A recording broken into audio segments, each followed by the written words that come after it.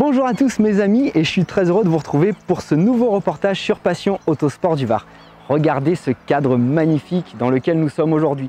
C'est Henri et Bruno, les propriétaires du château de la Clapière, situé sur la commune de Hier-les-Palmiers, qui nous accueillent dans un endroit encore magnifique. Aujourd'hui, on va recevoir non pas des merdeux, mais des Toyota MR2. Des grands passionnés, la jeunesse est avec nous, et puis on va retrouver le père François, Marie-Catherine et toute l'équipe. Tout ça, ça va être sur Passion Autosport du Var.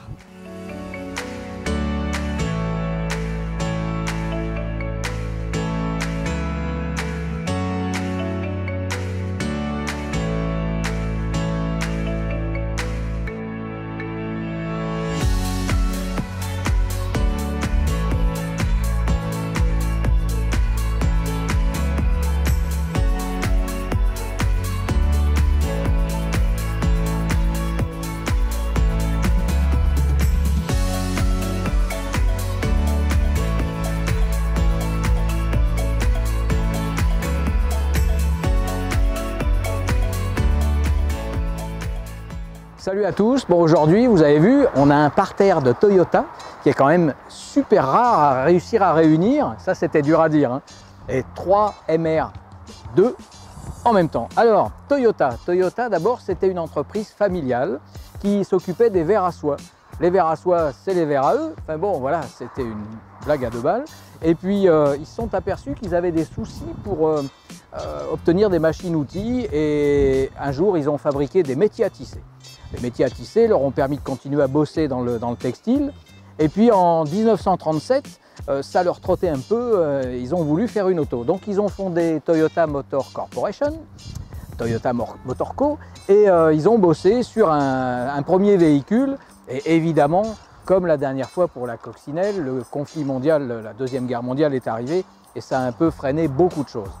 Donc au niveau des années 50, Toyota va commencer à s'étendre. À s'étendre, c'est-à-dire qu'en fait, bon, ils fabriquent toujours des voitures, ils sont en écoute perpétuelle par rapport au marché, ils commencent à entrevoir que les États-Unis pourraient être un, client majeur pour l'extension du groupe. Et puis, euh, il y a surtout, dans la mentalité japonaise, une sorte de, de, de, de cohésion nationale qui fait que on est là pour que le pays fonctionne, pour que les gens mangent, pour que les affaires marchent. Et du coup, il y a une solidarité entre les constructeurs. Vous allez voir un peu plus tard, j'ai un très très bon exemple. Alors, ce qui est amusant, c'est que ce groupe, aujourd'hui, il est tentaculaire, puisqu'on retrouve sous la marque Toyota beaucoup d'autres fabrications. On a par exemple Lexus, qui est la gamme euh, plus, plutôt euh, luxe et sport de Toyota. On a aussi Daihatsu qui est passé euh, sous, contrôle Toyota. On a aussi Hino, le fabricant des camions japonais. Euh, là encore, c'est une gamme qui est très très étendue. Et puis euh, il y a eu un comment vous dire, il y a eu un épisode extraordinaire qui illustre ce que j'appelle l'esprit de cohésion chez les Japonais. Il y a quelques années, Subaru était à la limite de la faillite, c'est-à-dire qu'ils allaient fermer. Et là, l'État japonais a convoquer les constructeurs de voitures japonais autour d'une table en disant on ne peut pas laisser s'éteindre Subaru, c'est pas possible. Euh, il faut faire quelque chose. Et là, Toyota a cassé la tirelire et a acheté une partie des dettes de Subaru parce que tout le monde pousse pour que tout marche au Japon. Il y a une cohésion, il y a une solidarité géniale et Toyota est vraiment dans ce, dans ce mouvement.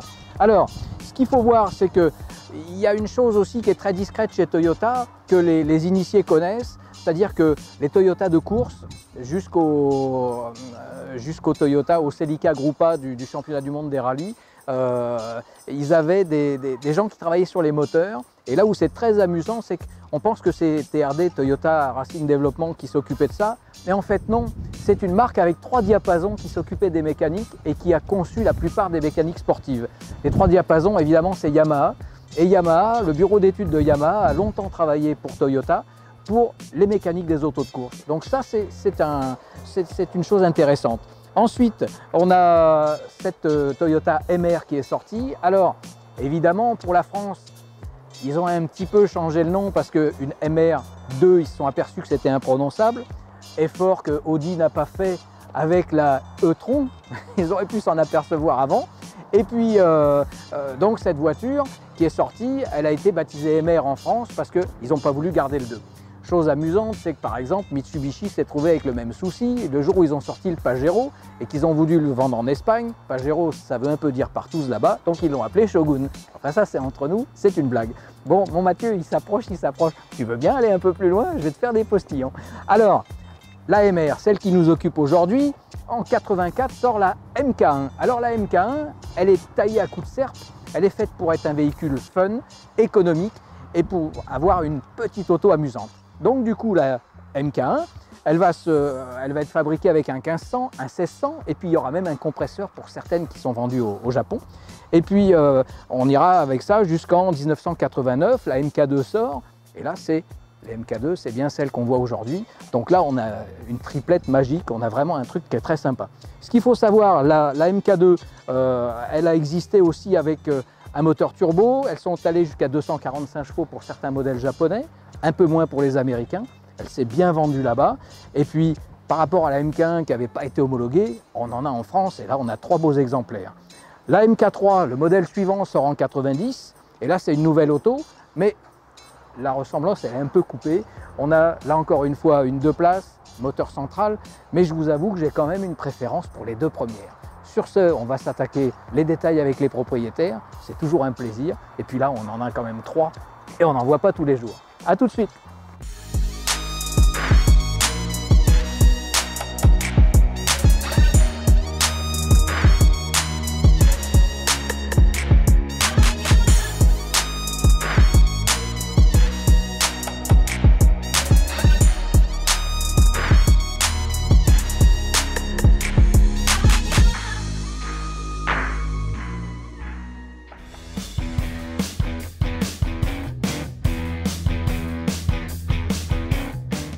premier invité aujourd'hui, eh ben, c'est notre cher Benjamin. bonjour. Salut mon Benjamin, comment tu vas? Bien, bien, bien. Alors Benjamin, tu nous viens d'où et quel âge? Alors je viens de Cotignac et j'ai 21 ans. Voilà, moi j'aime bien demander l'âge parce que moi ça me vieillit. Moi j'adore. oh, pas si vieux que ça, t'inquiète. Bon, Toyota MR2. Ouais. Alors avant de faire un petit tour de caisse avec François, on va déjà parler de ta passion. Donc, ah. comment elle te vient? Bah, J'ai toujours été attiré par les japonaises. La première voiture c'était une Mazda 323. Puis je cherchais une MX3 V6 à la base. Puis je suis tombé là-dessus et bah, j'ai craqué tout simplement. La propulsion, la tenue de route qui est dingue, euh, le côté exotique. Voiture atypique quand même parce qu'on on en parlait euh, hors caméra et euh, puis entre nous, on n'en croise pas tous les jours. Non. Et en plus ce qui est dommage, et je pense que là vous allez, on va faire des heureux de passionnés de MR2, c'est qu'on parle très peu de cette voiture. Elle est assez méconnue, on pourrait presque dire, et pourtant c'est que c'était quand même des avions de chasse de l'époque. C'était vrai, des bonnes voitures, mais comment dire, très peu connues de tout ce qui est japonais. Généralement, c'est méconnu en France. On était, c'est la période des, GTI et compagnie. C'est vrai y a une petite révolution à ce niveau. C'était quoi le petit surnom qu'on lui donnait La Ferrari? La petite Ferrari. Ouais, donc la petite, Ferrari. en plus rouge. C'est ça, ouais. Couleur d'origine. Il y a eu un rouge aussi un peu plus clair que celui-là. Euh, après, ouais, il n'y en a pas eu beaucoup, on n'en parle pas beaucoup. Il y en a eu des rêves 1, si je dis pas de bêtises, un peu plus de 400 vendus seulement en France d'origine. Donc Très peu. C'est très peu. Ouais, c'était pour, un public averti, quoi. Toujours passé inconnu. Alors celle-ci, depuis combien de temps tu l'as Alors ça, ça fait deux ans. Deux ans Quand tu achètes cette voiture, elle est dans quel état À peu près en cet état-là, avec quelques petites modifications qui avaient été faites, notamment des jantes plus grandes, les feux arrière qui n'étaient pas les bons, l'intérieur qui était à revoir en grande partie. Enfin, voilà, plein de petites choses à faire, mais rien de vraiment compliqué au niveau mécanique. donc la carrosserie, tu l'as jamais touchée. La carrosserie, Alors, elles sont dans leur jus. Et ce qu'on aime avec ce genre de propriétaires, ces vieux fous là, c'est qu'au moins c'est des voitures qui roulent. Et ça, on adore ça. C'est pas des voitures qu'on laisse sous bâche. Alors elles ont quelques stigmates de l'époque, hein, avec euh, ah, un petit éclat de peinture, un petit coup sur la portière. Les traces Mais au moins, voilà, ça reste pas sous une bâche, ça roule. Projet dessus, alors qu'est-ce qui va se passer? Projet dessus, bah alors celle-là, ça va être surtout une grosse révision au niveau moteur, tout ce qui est distribution, embrayage à prévoir dans pas longtemps. Remise d'origine, là je cherche aussi un échappement euh, pour l'occasion. Puis voilà, vraiment le projet c'est être full stock euh, dans quelques temps.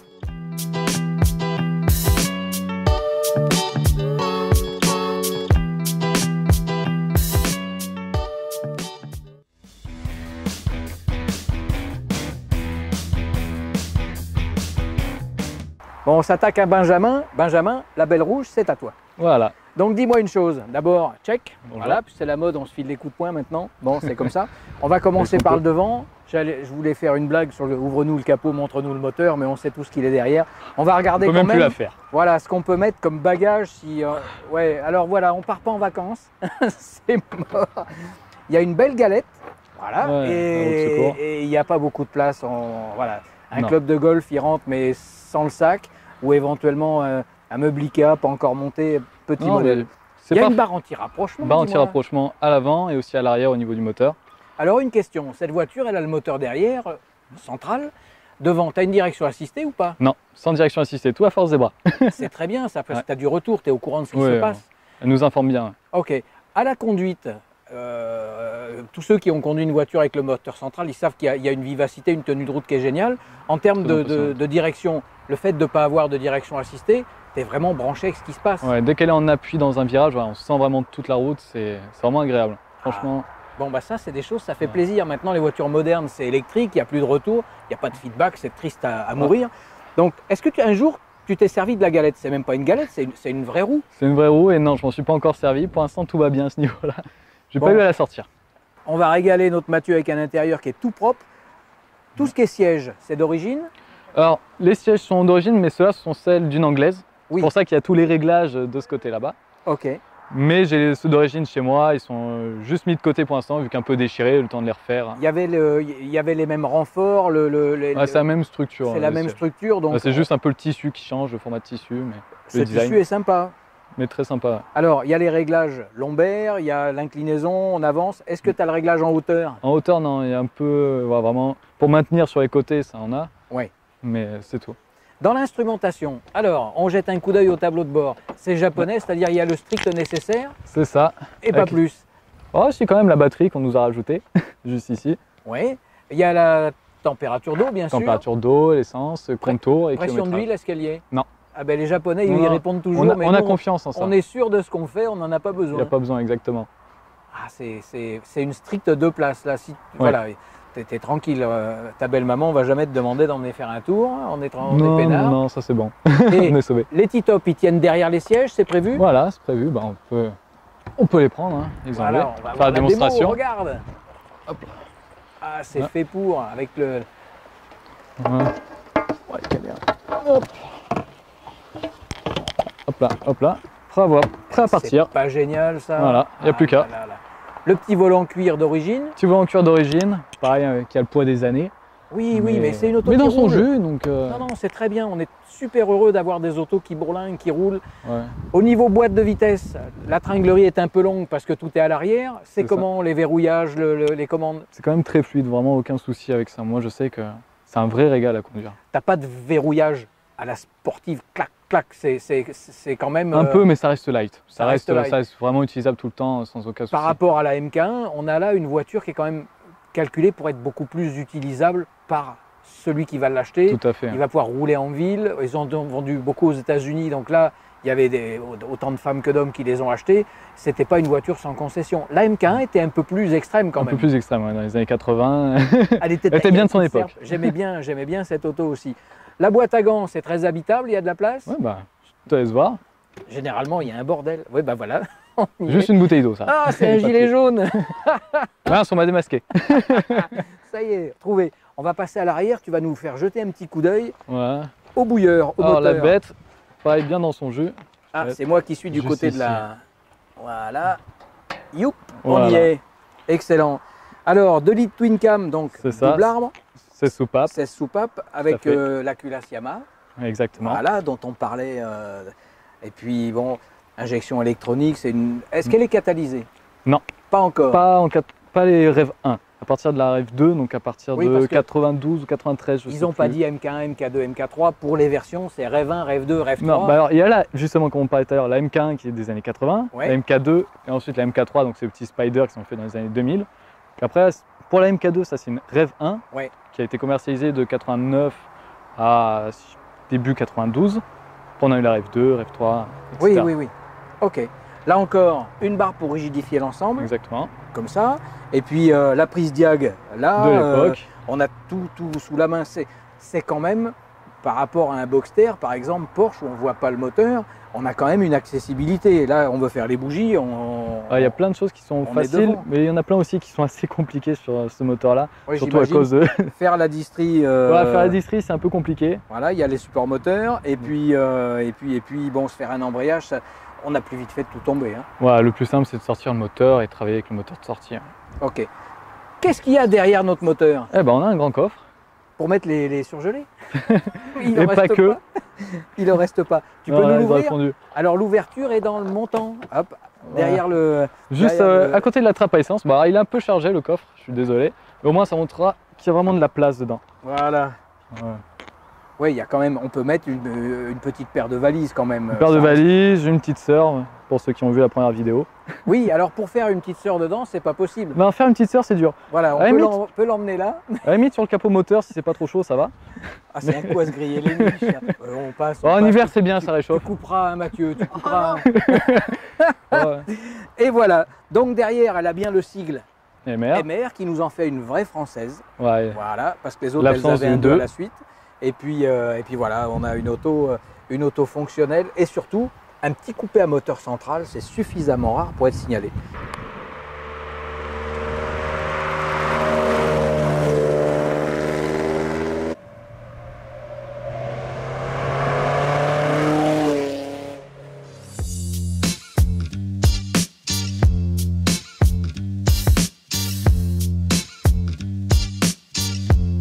Bon, eh, on est dans la petite rouge avec Benjamin. Alors, euh, plan roulant déjà de l'extérieur, ça fait quand même un très beau bruit. Combien ça fait de chevaux la tienne, Benjamin? 160. 160 chevaux. Moi, je pense qu'on a une petite ligne droite, sans trop prendre de risques, bien sûr, parce qu'on est sur route ouverte et qu'on est, on est des gens quand même sérieux. Juste pour le plaisir d'écouter la sonorité de la MR2. Benjamin, ouvre le bal. C'est parti. Oh, c'est beau quand même Voilà Ça c'est de la mélodie,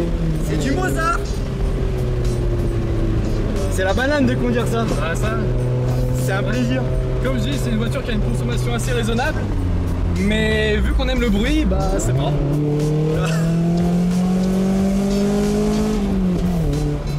Alors eh, ça vire à plat quand même, hein. c'est impressionnant hein. On a vraiment une stabilité sur la voiture, on la sent pas bouger Et on peut pas dire qu'on a des vrais vrais sièges baquets Et franchement elle, elle vire vraiment à plat Je suis assez surpris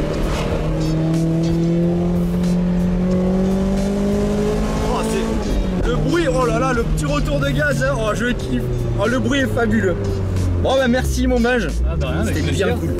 Avec plaisir.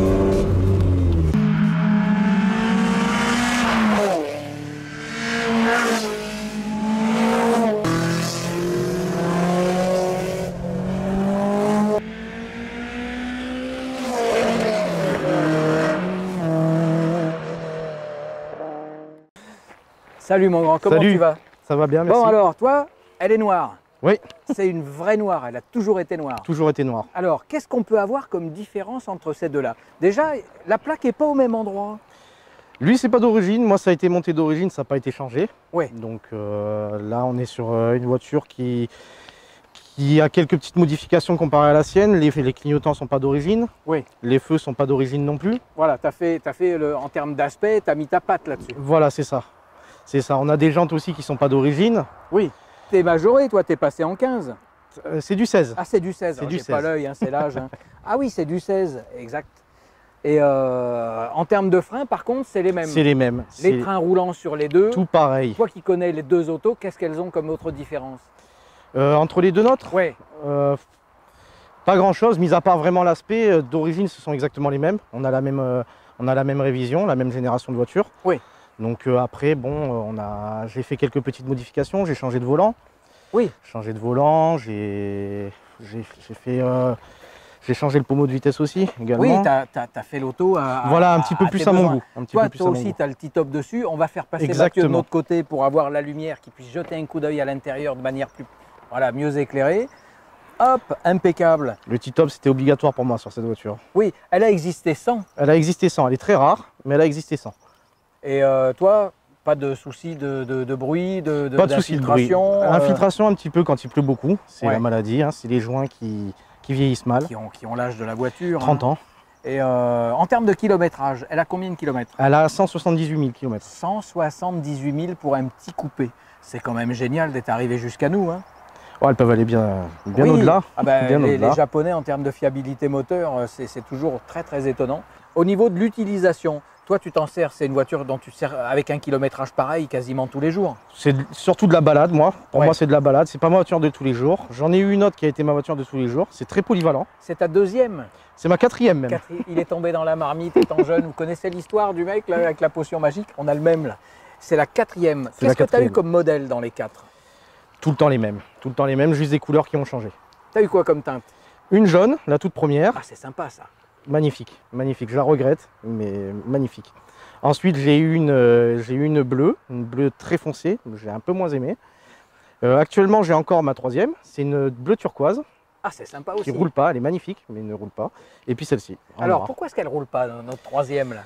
C'est Toyota. Il y a toujours des trucs à faire. Euh, Là, je l'ai ramenée de Belgique. C'est une voiture qui était dans son jus, mais vraiment, elle était Ouais. restée euh, 10 ans, 10 ans dans un, dans un terrain, dans un terrain vague. Donc, il y a besoin d'une grosse remise en état. Tout. Absolument tout. Donc euh, là, la voiture finit dé- désossée complète. Et puis celle-ci reste comme elle est. C'est une voiture que je veux qu'elle garde les marques du temps.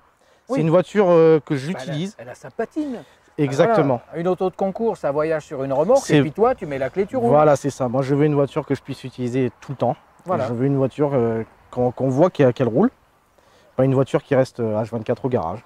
Alors, la distribution a été faite, 152 402 km. Elle est à faire, malheureusement. Voilà, c'est compliqué? En place, oui, très compliqué. parce qu'il y a Très compliqué. Il n'y a milieu, aucun y accès. y C'est très compliqué. C'est plus rapide de sortir le moteur pour le faire, tout déposer, en même temps refaire une réflexion complète. Souvent, les Japonais, ils avaient une mécanique qui faisait plusieurs voitures. Est-ce que Oui. ça, on le retrouve, ce double arbre Bon, pas sur le RAV4, j'imagine. Euh, Il y en a eu, il y en a eu, pas cette génération-là. Et ils ont même eu ces moteurs turbo dans des RAV4. Un Et- RAV4 turbo. Ça a été souvent monté, ça a été souvent monté, c'était pas mal. Et sinon, celui-là, c'est celui de, de la Celica T18, Oui, donc euh, des, de- des mêmes années. c'était plus lourd la, la Celica. C'était plus lourd, c'était Ouais. un peu plus lourd, ça reste une, une auto très sympa. Et en position euh, moteur avant. Donc, C'est ça, exactement. c'était une mécanique à tout faire en fait. Ils pouvaient la mettre dans une, une Voilà. grosse partie de la gamme. Voilà. Après, honnêtement, quand on voit la disposition, quand on travaille dessus, on se demande vraiment si c'était pas un moteur qui traînait dans le coin du garage et qui se sont dit on a ça qui traîne, on va le mettre dans celle-là parce que euh, il faut s'en servir. Ah, ils, ont, euh, ouais, ils ont poussé un peu les murs et puis on. Ouais, parce que c'est pas très pas très optimisé pour mettre pas les mains dedans. fonctionnel quoi. Non, pour, pour bosser dessus, c'est pas c'est pas top. Et comme je disais tout à l'heure, celui qui a une Porsche Boxster, il n'a pas l'accès, il voit rien. Exactement. Il faut passer par-dessous à chaque fois. C'est ça. Et finalement, là, quand même, j'étais surpris en ouvrant qu'on ait, qu'on ait Bon, pour euh, quelques trucs, oui, on peut travailler. quand même là. Euh, si tu avais des conseils à donner en termes d'entretien, c'est-à-dire d'huile à mettre, toi tu en as eu 4 donc tu commences à savoir, euh, est-ce qu'il y a des choses qu'on peut conseiller aux propriétaires de de Honnêtement, c'est des moteurs qui sont vraiment, qui sont vraiment costauds, vraiment, vraiment fiables.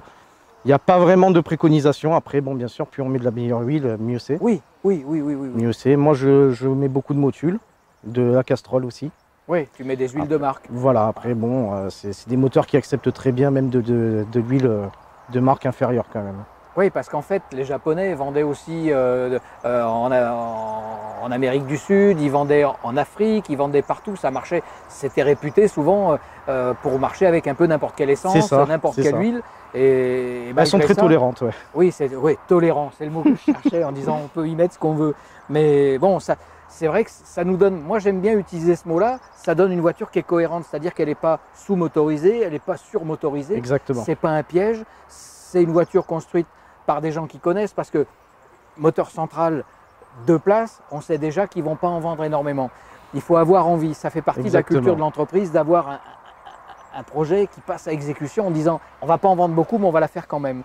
Et voilà, il y a, il y a, comment dire un certain courage industriel à, à sortir une auto comme ça. Alors ce qui est marrant, c'est qu'ils l'ont beaucoup vendu aux États-Unis.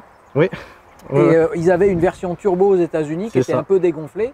Alors que les, Japo- les- les Japonais s'étaient gardés la gardés les 240 meilleurs. chevaux. Exactement. C'était garder la meilleure. En Angleterre, on m'a dit qu'il y en avait eu pas mal des Il y en a des- des MR. beaucoup. Il y en a beaucoup. Beaucoup viennent du Japon aussi. Oui, parce qu'ils sont en conduite à droite aussi. Exactement, voilà. Donc ça permettait d'avoir un, un modèle qui se vendait à l'identique des deux côtés. C'est ça.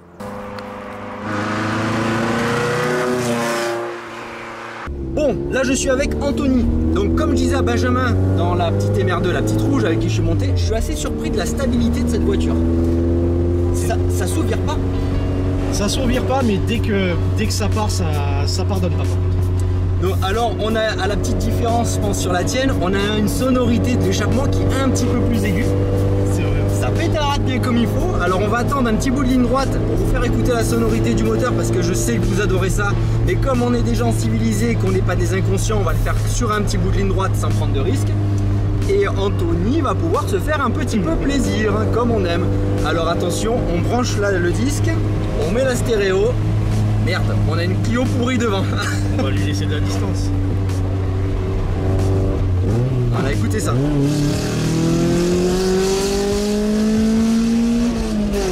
Ah oui Ah oui, moi je dis oui Oh, c'est de toute beauté. C'est le pied quand même, à vous. Ouais, j'adore cette pièce. J'adore, franchement. Et puis c'est pas tape-cul. Ça dépend les endroits. Sur cette route, ça passe, mais on a des endroits où c'est un peu raide quand même. C'est un peu raide. Et ben voilà, donc dans celle d'Anthony, je suis aussi agréablement surpris par la suspension et le confort dedans. Eh, rien à dire. Je crois que je vais devenir un merdeux moi aussi. Peut-être un nouveau membre alors.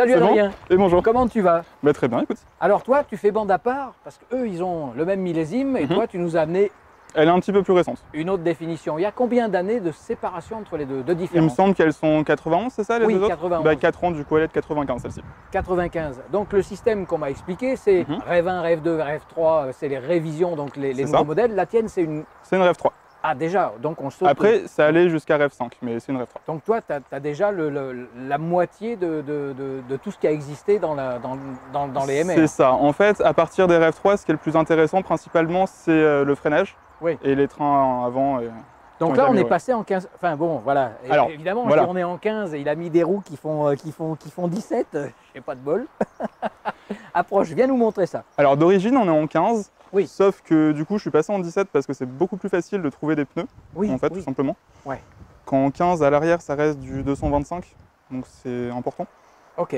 Là, on a les disques qui sont majorés par rapport aux précédentes. C'est ça. Voilà. Donc le freinage est bien meilleur sur les RF3 et plus que sur les premières. Ok. Les étriers, c'est le même modèle, c'est les mêmes plaquettes Il ou me c'est semble que c'est la même chose. Ok, ok, ok. Au niveau du comportement, passer avec des roues et des freins supérieurs, euh, c'est vrai que euh, sécurité d'emploi, euh, distance de freinage, t'es quand même. Alors j'ai pas essayé avec des plus anciennes, mais Oui. avec celle-ci, j'ai pas de problème particulier à Alors ce que niveau-là justement. que ça, ça. met, ça met un peu de temps à, à- à fonctionner. Alors, l'intérieur, pareil, j'ai l'impression que c'est pas les sièges d'origine. Non, c'est pas les sièges d'origine. Bah, un peu pour la même raison en fait, les sièges d'origine étaient en très mauvais état. Ouais. Et au moment de les remplacer, j'ai trouvé tout simplement ces occasions qui étaient bien plus intéressantes. Une paire de, une paire de baquets euh, enveloppants est, qui est bien raccord avec la voiture. Ça, c'est sympa. Le volant est d'origine ou c'est. Le volant n'est pas d'origine, c'est l'ancien propriétaire qui l'avait changé, mais pareil, je trouve que ça restait plus ou moins dans l'esprit de la voiture, donc Oui. ça m'a pas forcément choqué. Ok. Après, le but était quand même de rester dans l'esprit de la voiture et de pas de. Oui, pas la dénaturer. Oui. Alors, ce qui est amusant, c'est que la, la- la- d'origine, donc au Japon et en Angleterre, entre autres, elles étaient en conduite à droite, Mhm. et ils ont laissé le frein à main. Exact, du côté droit. T'as vu le frein à main, Mathieu? Il est du côté du passager. Donc, si je t'emmène faire un tour et que je te demande de tirer le frein, t'es du bon côté. Voilà. Alors que bah, la boîte de vitesse est la même que sur la précédente. C'est la même. Voilà. Alors, les synchros de 3 ont été renforcés sur les troisième génération, Ouais. mais sinon, c'est la même boîte. Ok. Rapport euh, la démultiplication, c'est C'est exactement la même boîte. en termes de mécanique, est-ce qu'il y a eu des changements?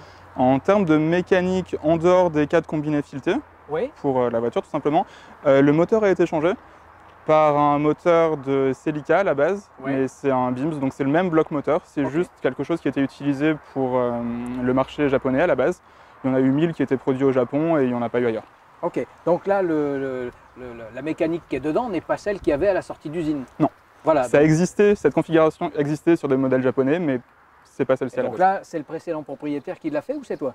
C'est pas le précédent, celui d'encore avant. Ok, mais ils sont quand même sacrément picousés les mecs en MR2 parce qu'ils mettent les Evo qui existent au Japon, ils mettent des. Enfin, c'est bien, c'est des Ça a autos été qui remis, sont- euh, remis à jour, oui. des autos qui sont jamais complètement figées, elles sont adaptées à leur propriétaire. Euh, tu nous ouvres le capot, on jette un coup d'œil à la mécanique. Allez. Il n'y aura pas de différence avec les autres, mais comme ça. Euh, normalement, si. Ah Eh ben là, tu On nous mets en appétit. Là. On y va. Elle est sympa en blanc. Et puis au soleil, ça brille l'enfer. C'est... Moi, j'adore. Et t'as le petit top comme les autres. C'est ça. Ah oui, oui, on a changé de... Bon, je laisse ouvert du coup. On a changé d'aspect. Attends, je vais peut-être... C'est là et c'est Voilà. à côté derrière. Bouge pas, je vais y arriver. Hop. Alors, on y est. Le trou-trou, c'est parfait. Voilà, donc là, c'est une autre mécanique qui est dedans. Mais dis-moi, qu'est-ce que c'est que ce filtre Alors la boîte à air a été modifiée aussi. Pareil, c'est la personne qui a fait le swap moteur qui a changé la boîte à air. Ok. En termes de, de- Ah, c'est un VVTI, donc il a la distribution variable. C'est ça. Voilà. Ok, comme le, comme le VTEC, comme le Vanos. C'est l'équivalent du de- VTEC mais pour Toyota, c'est exactement ça. Ok. Ce moteur-là, en termes de puissance, il est donné pour combien par rapport à l'origine? Alors d'origine, il est donné pour 200 chevaux, pour Ouais. un 2 litres atmosphérique du coup, sans turbo, et c'est tout. Voilà. Mais c'est le même bloc moteur en fait, c'est Voilà. juste euh, la version un petit peu plus récente, mais à la base c'est le même moteur. Et euh, en termes de couple et de puissance, c'était approchant du moteur d'origine ou il y a vraiment eu un progrès? Normalement, encore une fois, j'ai pas pu tester Ouais. euh, d'ancienne génération, mais normalement au niveau de la puissance, effectivement, il y a un progrès. Après, c'est pas un progrès forcément euh, extraordinaire. Il y a comparé à la Rev 3, je crois qu'il y a 25 chevaux de plus, donc Ouais. c'est quand même sympathique, mais c'est pas. Ok. Et en fait, toute cette modernisation de mécanique, on va souvent pour des émissions qui sont moindres, on va souvent pour des moteurs qui, qui polluent moins, qui consomment moins. C'est vrai que plus on avance en moteur moderne, Mhm. plus c'est censé euh, émettre de moins en moins de, particules. Ok, ok. Bon, ça c'est génial. Le coffre, il est en ordre. Non, absolument Tu pas. vas nous l'ouvrir, on va On peut l'ouvrir quand même. J'adore ça, on les coince tous avec ça. Allez-y. L'aileron, c'est une pièce Toyota? Alors c'est une pièce Toyota, c'est un aileron de Rev 5. Donc c'est un aileron de MR2, c'est juste le plus récent. Ok. Mais c'est d'origine Ouais, Toyota aussi. on, a, on a connu des, des coffres nettement plus en Bah, bazar. c'est que juste qu'il est tien. un petit peu crade et on a la- le bout de bois qui sert à tenir le, le capot. Ah, parce qu'il n'y a, pas- il y a pas de vérin. Alors il y a un vérin, mais il ne fonctionne plus, ce qui est le cas sur beaucoup de MR2. Ah, Et apparemment, je viens de découvrir que même quand il fonctionne, il a tendance à tordre le coffre Eh et, oui. à décaler l'alignement. oui, fait. puisque tu as l'aileron, et à mon avis, euh, comme sur les M3 qui avaient l'aileron d'origine, euh, le- les vérins, ils sont Bah, un peu même faiblards. sans en fait, parce que ça touche à ce niveau-là et ça. Ok. ça décale, Ouais, ouais, tout bon, simplement. C'est pas fait pour.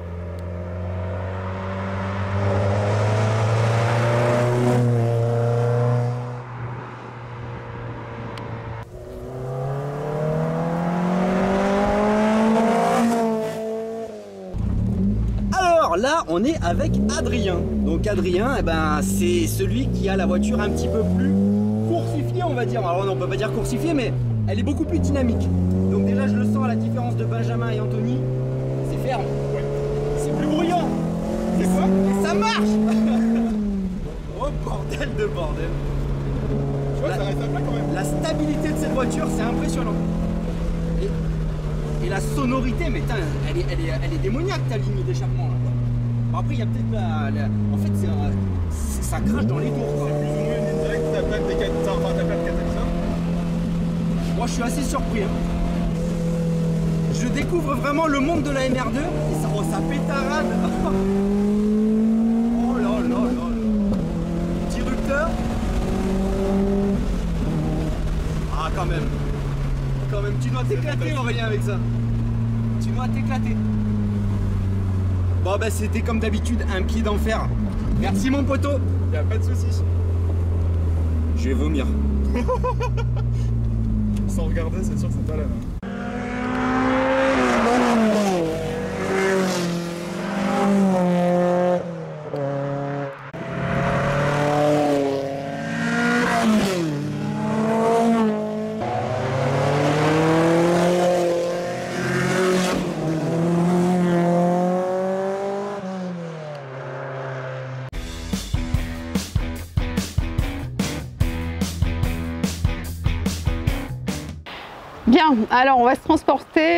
1991 en pleine guerre du Golfe, l'année 91, le 11 février 1991, c'est la date d'immatriculation de notre belle Toyota rouge.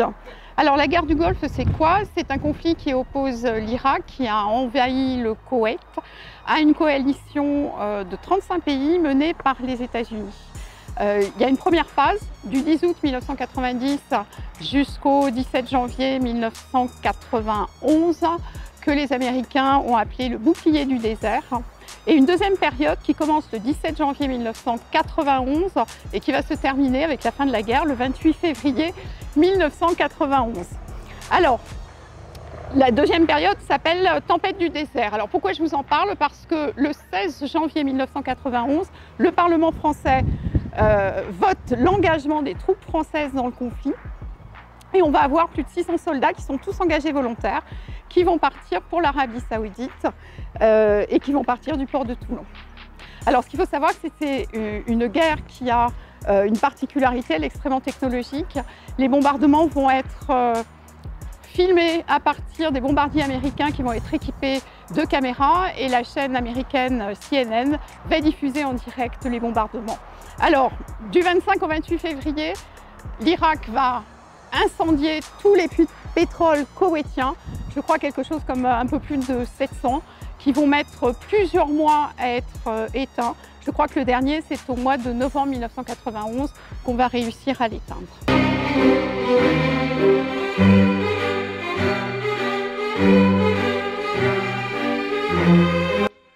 L'opération est une campagne de bombardement massif.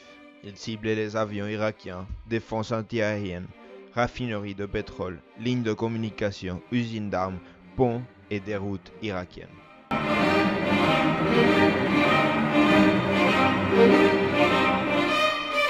Toutes les infrastructures sont détruites, avec des dommages collatéraux importants. Alors, le 23 mars 1991, c'est la date d'immatriculation de notre deuxième Toyota, la noire. Alors, qu'est-ce qui se passe? Le 23 mars, c'est la deuxième journée d'essai du Grand Prix de Formule 1 du Brésil. Euh, Carton Senna aimerait bien gagner. Alors, les essais se passent très bien malgré le temps qui est absolument épouvantable. Hein. il pleut. Euh, il réussit une pole position, donc le lendemain, il va partir en pole position sur sa McLaren. Il va avoir un certain nombre de problèmes puisqu'il a une boîte de vitesse qui a des défaillances et au fur et à mesure de la course, il va perdre des rapports. Très vite, il va se retrouver à utiliser simplement le sixième rapport, ce qui est quelque chose de très difficile puisque ça supprime en fait tout le frein moteur. Et comme il le dira lui-même, passer de 300 km/h à 70 dans les virages est un exercice extrêmement difficile. Euh, il va passer la ligne d'arrivée en premier avec 3 secondes d'avance sur le concurrent euh, suivant, Ricardo Patrese, sur euh, William. Et puis il va faire un tour d'honneur. La McLaren va tomber en panne, va s'arrêter en cours de tour. Euh, il ne va pas pouvoir sortir tout seul de la voiture. On va lui apporter un drapeau brésilien qu'il n'arrivera pas à tenir. L'équipe médicale se précipite. L'histoire dit qu'on lui fait une injection de produits anesthésiants parce qu'il a des crampes absolument terribles et on l'aide à sortir de la voiture. Il va chanceler quasiment jusqu'au podium et euh, effectivement, il racontera plus tard que euh, c'était physiquement quelque chose de très très difficile. Comme quoi la, la, Formule 1, ça peut être quelque chose de physique. En tout cas, il est très heureux parce que c'est la première fois qu'il est vainqueur dans son pays.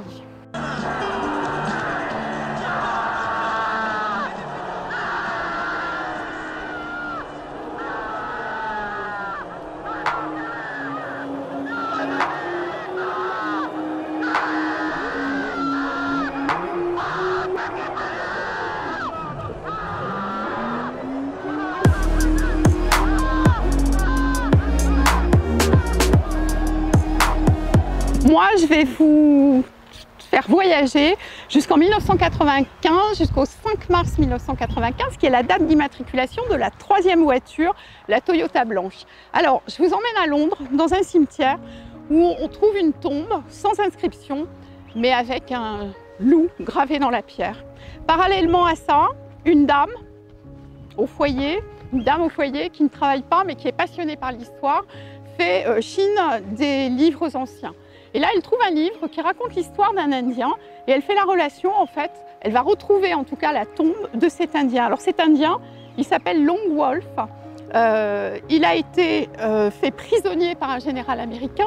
Il est donné à euh, Buffalo Bill, William Cody, qui a monté un énorme barnum avec un spectacle dédié à la conquête de l'Ouest avec 400 figurants, enfin quelque chose d'énorme. Et le général lui remet trois chefs Sioux en lui disant ceux-là, vous les prenez, je ne veux plus les revoir. Donc euh, Buffalo Bill fait ça. Buffalo Bill fait sa tournée en Angleterre, il euh, fait son spectacle à Londres. Même la reine Victoria est venue saluer les chefs indiens. Et euh, malheureusement, notre chef indien, notre Sioux, euh, Long Wolf, meurt de froid. En tout cas, il attrape une mauvaise bronchite et il va mourir.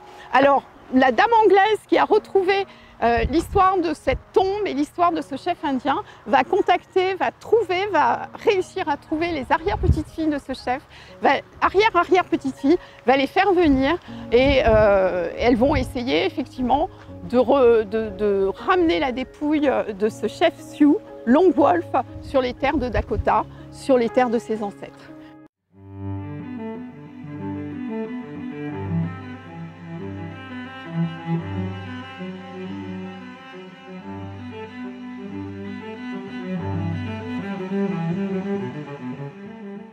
Bonjour Monsieur Favre. Bonjour, bienvenue. Merci beaucoup et merci à vous de nous accueillir dans Bah, un écoutez, cadre absolument C'est un plaisir, toujours. Alors, on, est, euh, on le voit hein, euh, dans cette pièce déjà, euh, on est sur quelque chose d'un petit peu extraordinaire. Ah oui, On est sur un domaine euh, viticole, oui. le domaine de la clapière.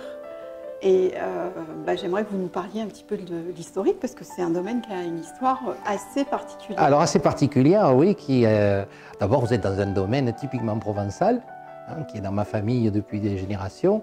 Et euh, bah, l'histoire un peu particulière de, de ce château, c'est la reine Victoria. Mon arrière-grand-mère s'appelait Victoria. Elle habitait à Ops et entre Casteau, dans le Haut-Var.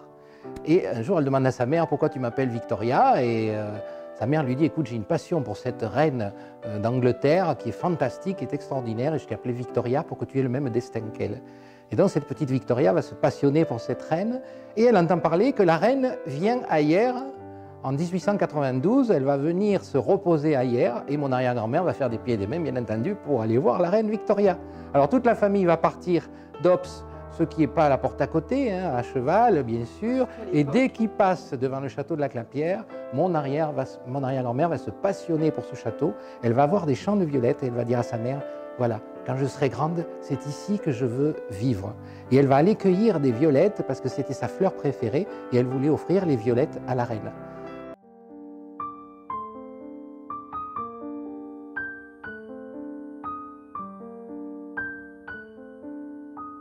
Et ce qui est encore plus extraordinaire, c'est que la reine Victoria est venue se balader dans la vallée des Borels, juste à côté de nous, est venue au château de la Clapière par hasard, sans, sans savoir toute cette histoire.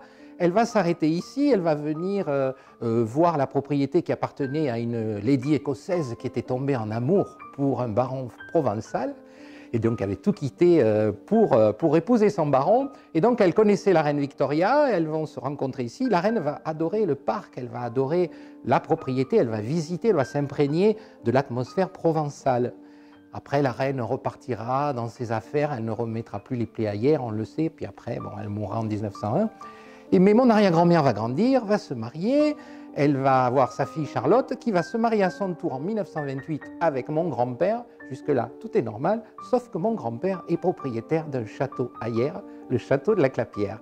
Et quand il connaît l'histoire de la petite Victoria, il va l'offrir à sa belle-mère, il va lui offrir le château de son enfance. Et Victoria va vivre et va régner en reine sur le château de la Clapière jusqu'à l'âge de 104 ans.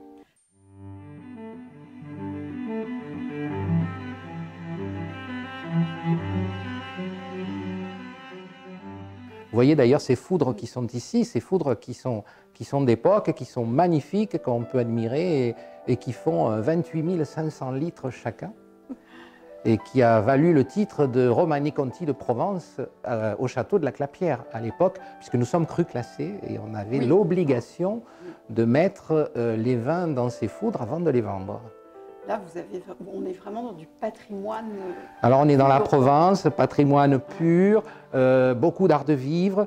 Ce château, bien entendu, euh, quand mon arrière-grand-mère est morte euh, en 1988, il, a- il est resté un peu dans l'oubli. Bien entendu, les vignes étant- crues classées, on les a entretenues et tout.